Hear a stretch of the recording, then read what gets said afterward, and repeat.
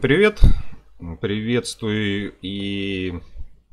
Ну, самое интересное время, конечно же, сейчас у нас а, многие матчапы еще неизвестны, хотя идут уже турниры состоялись, и много игроков и повторы вот присылают, кто там как с кем играет. Но, тем не менее, как бы вот в открытом доступе а, для всеобщего, так сказать, обозрения матчапов мало, и где-то на тех же стримах не всегда успеваешь внимание на какие-то особенности обратить. Ну, поэтому вот как бы достаточно длинные видео, особенно вот предыдущий видос, очень долгий такой был. Вот, ну, больше он, конечно, для ценителей. Вот, фанатов, так сказать, хардкорных такого вот разбора детального. Ну а в этом поединке э, он чем интересен? Во-первых, понятно, новая фракция это высшие эльфы и одна из э, дофига уважаемых фракций многими игроками э, орки. За орков идет у нас член клана Вулф, его лидер э, современный, это игрок под ником Дипломат.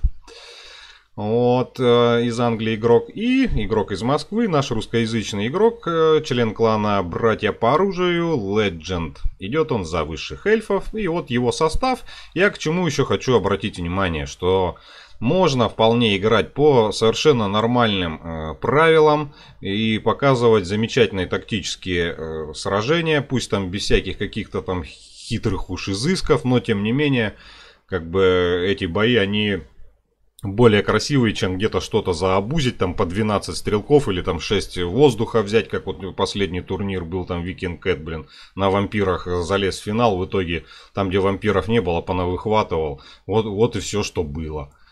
Вот. Ну и состав мне понравился. Единственное, что я, конечно, не могу одобрить вот эту вот штуку Орлиный Коготь. Не знаю, для чего вот он брал его. Вот, э, не уверен, что он себя оправдал в этом поединке, но тем не менее. Итак, 4 белых льва Крейса. Сразу скажу, те, кто говорят, что они э, никакие. Блин, вы просто не понимаете этого прикола. У этих ребят, э, они идеальные вообще, как вот средняя пеха. Э, я вот вообще считаю, что это самая cost-effective пеха э, во второй вахе. Кто не согласен, ну пожалуйста, пишите. То есть смотрите, э, за счет этой всей воинской доблести у них 36 защита, атака 38, дисциплина 88, плюс бронебойная еще сила оружия. Атака 38, блин, это вообще немало.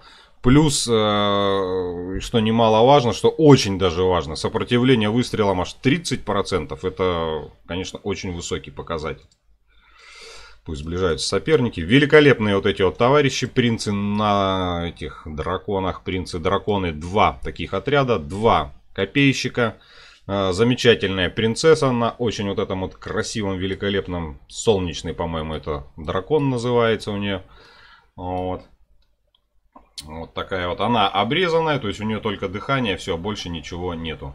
Три замечательных с большим рейнджем стрелка, лучники. И у нас маг жизни, просто он пешочком, э, с кровью земли и все как бы, все на этом. Ну и плюс в кустах заныкались иллирийские разбойники, которые здесь сейчас столкнутся э, в ближайшее время с гоблинскими волчьими наездниками. Дипломат не был бы дипломатом, если бы он что-нибудь такое вот хитренькое не придумал. Ну и что орки? Ну и потом после боя, конечно, небольшой вывод по оркам вообще в целом. А, значит, орки у нас три гоблина, копейщики. Это кавалерия, четкие пацаны орков на вепрях. У меня такое ощущение, что им добавили вот этот урон против крупных. По-моему, у них не было его. Может быть, я просто уже ошибаюсь, э, что достаточно ну, давно было. Так, ну вот этот орлиный коготь стреляет, причем залповым вот этим вот методом. Давайте посмотрим, куда он стреляет. Ну, по-моему, он пытается выцепить здесь какого-то вожака, то есть, ну, не те цели. Ну, чуток снимает, да, чуток есть. Наверное, ему если дать подольше пострелять, то э, будет ай-яй-яй, скажем так. Ну, пусть уже бегут. Ну и основная пеха представлена дикими орками по 550, которые монет. Э, четкими пацанами орков, вот их два. И один э, черный орк. Ну, естественно, ночные гоблины с ядовитыми этими атаками, не бегущие товарищи. Ну вот что там у нас орлиный коготь? Ну успевает что-то накидать. А, паучьи. Два. Ну то есть связку эту сохраняет дипломат. Три стрелка ржавые стреляла и обычные гоблины-лучники. А, Гримгор в роли генерала. Жесткий, блин, вообще товарищ. Шаман ночных гоблинов. Назойливая чесотка и горк поправить, ну разумеется. Ну и вожак гоблинов на волке и без вообще всего, чего бы то ни было, скажем так. Неплохо лукари отрабатывают, причем фокусится здесь, я так понимаю, вообще все подряд, до чего там э, дотянешься. То, то, то и стреляет у нас Legend. Да, здесь спасаются бегством по тылам гоблинские волчьи наездники. По идее бы им, если бы не вот этот вот отряд, он по факту это отряд прикрытия, его бы, э, ему здесь, э, ну, раздолье было бы по лукарям пройтись. Хотя, вот даже давайте сравним, вот гоблины-лучники, что там, атака 10, защита 15. И здесь атака 18, защита 26. Я понимаю, что это пока их не просадят, но тем не менее. Итак, пошло у нас столкновение. Да, вот здесь вот, э, хоть и под горком, вот здесь горка вовремя кинул, но тем не менее, чарж свой э, практически, ну не в полном объеме, но выхватывают принцы драконы. Посмотрите, как они максимально вообще сливают быстро кавалерию. То же самое здесь у нас происходит на этом же правом фланге. Чуть-чуть медлит здесь Legend, но за счет того, что, в общем-то, эти принцы-драконы с великолепными своими этими показателями, что у нас здесь, и улучшенная кровь земли, и назойливая чесотка сразу на белых львов на Этерии откидывается, и более чем нормально. Вот здесь вот очень хороший момент, посмотрите, находит лазейку, Здесь, да, э, дипломат замечает, посмотрите, какой микро, то есть он вытаскивает гоблинов своих копейщиков, вязнут здесь иллирийские разбойники, но и, тем не менее, перестрелка, она пока не в пользу явно орков складывается. То есть, по сути, у нас идет фронтальное вот это столкновение, и здесь уже кто что вывезет, кто что не вывезет. Вот в этом столкновении. Очень здорово, вот это я прям вот э, особо хочу обратить момент. А, то есть мы видели, здесь столкнулись эти два отряда, они зачаржили принцев драконов. И посмотрите как, видит, что копейщики, белые львы шибко здесь, э, ну чтобы в общем им помочь э, против диких орков и как можно быстрее слить вот этот вот левый фланг орков и затащить свой правый. Legend берет своих принцев драконов и просто из этой пачки он их вытаскивает. Они чаржат, посмотрите, диких орков, эти мгновенно начинают проседать по морали, а часть вот здесь вот отряда застревает и не дает какое-то время ни четким пацанам, ни паучьим наездникам лесных гоблинов э, биться, вот, ну, просаживать полностью все модельки, так скажем, вот в этом вот отряде. Конечно, мы видим, что здесь 2 в 1. Более того, белые львы здесь под влиянием вот этих негативных обилок. Сила оружия минус, скорость вот, э, из-за яда. Ну и четкие пацаны орков, они, в общем-то, здесь неплохо заруливают. Да, гуляют по тылам гоблинские волчьи наездники. Блин, ну это вообще не такая, которая может слить стрелков э, из второй вахи. Прям совсем не та эта кавалерия. На левом фланге, посмотрите, несмотря на горк поправит, принцы-драконы просто-напросто снесли. Вот они уже набили 57, а это все кавалерия. И здесь в основном тоже кава, 49 тоже это все в основном кавалерия. То есть еще одна улучшенная кровь земли абсолютно правильно откидывает здесь Legend на кавалерию, на копейщиков и на белых львов. То есть здесь отряд практически целый. Понятно, что ему здесь противостоял достаточно дешевые э, дикие орки. Однако мы видим, что в центре большие проблемы ожидают высших эльфов. Здесь два в один фокусятся белые львы. Очень достойно они держатся. Очень здорово своим драконом здесь отрабатывал. Вот посмотрите, приземлился он выхватил буквально от Гримгора там пару тычков. Посмотрите, вообще бедный дракон сразу. Пана выхватывал. Ну и, конечно же, иллирийским разбойникам досталось, но они отбежали, вот они остановились. И теперь они в тылах, теперь ими уже можно орудовать. Очень здорово ржавый стреляла, крайне опасно просаживается принцесса у нас. Но здесь везунчик Legend, ему удается здесь вытащить э, свою принцессу из этого замеса, иначе был бы ей капут. Более того, здесь затаскивается фланг, копейщики у нас отрабатывают по четким пацанам.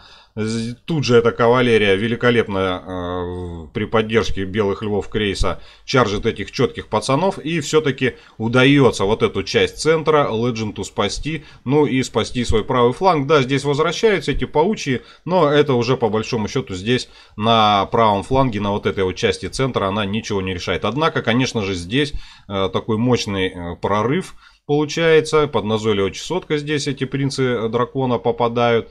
Ну и вот, опять-таки, по поводу дыхания. Ну, посмотрите, то есть на единичную цель, в общем-то, не очень хорошо заходит, скажем так. Да, оно, конечно, слишком жесткое, это дыхание, поэтому мы имплементировали ограничения на него в правила на чемпионат России, который, кстати, стартует у нас вот уже в ближайшие дни.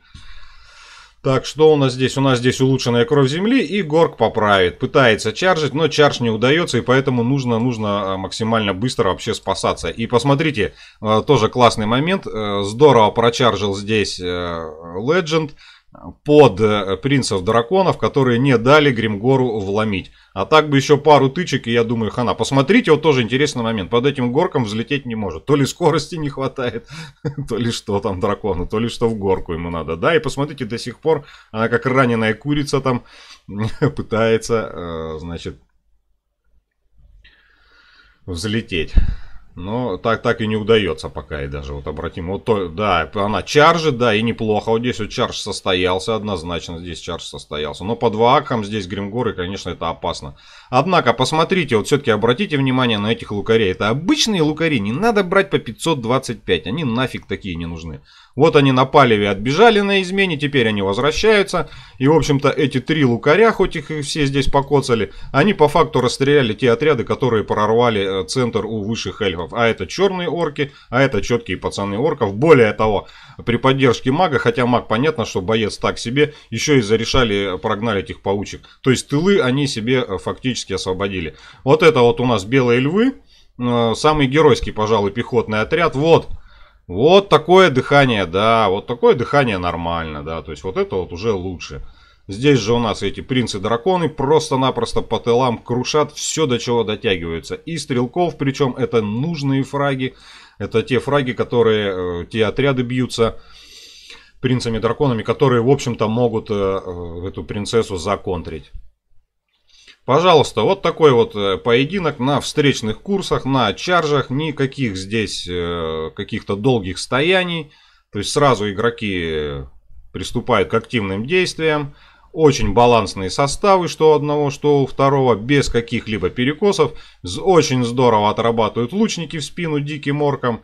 Да, здесь есть какой-то определенный процент, понятно, френдли фая на копейщиков и на белых вот этих вот львов. Но, тем не менее, как бы цель достигается, эти дикие орки, они бегут. Дракон здесь у нас в одну маску вообще всю шайку вот эту вот гонит за счет своего ужасающего вида. И, в общем-то, э, здесь орки держатся уже только на Гримгоре, на маге. Вот, и, ну, понятно, на ночных гоблинах, которые, в принципе, не бегут. Плюс еще вот такой вот небольшой здесь резервчик этих э, белых львов стоит, которые сейчас подойдут и наведут там шороху. Вот он, он, чарш очередной, великолепно. Заходит, то есть просаживается у нас. Очередной раз Гримгор. Ну, Гримгор стойкий. Наверное, все-таки а, наиболее предпочтительный генерал сейчас с тем, что ушли все банки. И мне кажется, все-таки Гримгор ну, более выгодно смотрится. Ну и пару слов о Борках. Все-таки, э, ну... Даже с учетом того, что Орлиный Коготь здесь не зашел по большому счету, тем не менее, мы видим, что выиграв, по сути, пехотное сражение, ну что у нас удалось сберечь только белых львов. Да, еще одна кровь земли, причем уже не улучшенная. То есть уже последнюю услугу своей армии оказывает э, этот э, маг жизни. Вот бросает он последний закол, за счет которого эти белые львы э, стоят. Ну и в общем-то, оставшись без пехоты, без пехотной поддержки, я не думаю, что здесь оркам что-то удастся э, вообще показать. Да, то есть вот он, он Гримгор, наверное, все-таки лучший генерал сейчас вот в данный момент. Да, проходит чарж, два тычка, кусь-кусь, как говорят. Да, последняя тут что, назойливая чесотка пыталась откинуться, но уже ничего это к репутации ни Гримгора, ни э, высших эльфов в данном бою это не добавляет. Поэтому вот такие вот результаты поединка. Молодец Legend, очень здорово действовал. Хорошая, кстати, карта. Да, вот он, он геройский один отряд, посмотрите, 119. То есть, в общем-то, походу вот этот, который в центре, наверное, все-таки запопал под двух, его ломанули. А здесь все по 70, в общем-то, нормально. Ну, дикие вот эти вообще великолепно отработали. Копейщиков нарубили они там на правом фланге немало. А вся остальная пехта, посмотрите, они все, вся на уровне примерно львов и отыграла. Поэтому говорить о том, что львы какая-то там не такая пеха, думаю, совершенно неверно. Ну и, естественно, вот эти великолепные цифры. То есть, в принципе, каждый отряд, ну я не беру Орлиный Кокоть, здесь сыграл э, и набил столько, сколько ему было нужно. Дракон за свою стоимость полторы сотки, пожалуйста, наковырял. И все остальные отряды тоже все сыграли великолепно. Ну и орки, да, в принципе, тоже. Ну, вот они каву посливали. Четыре отряда, да практически вся. Пять отрядов кавалерии. Она просто-напросто рогами убилась у этих принцев-драконов. А остатки вот этой вот кавы, они слились сами вообще на лучниках. Ну что ж, вот такие вот результаты поединка. Вот такой вот турнирный бой состоялся. Еще раз обращу внимание, Legend молодец. Редко русскоязычный там против э, топов э, затаскивать. Ну, не потому что не могут, а иногда где-то не встретятся в турнире, где-то еще что-то. Но вот в данной ситуации, пожалуйста, остается только порадоваться таким результатом и такому красивому поединку. Всем пока.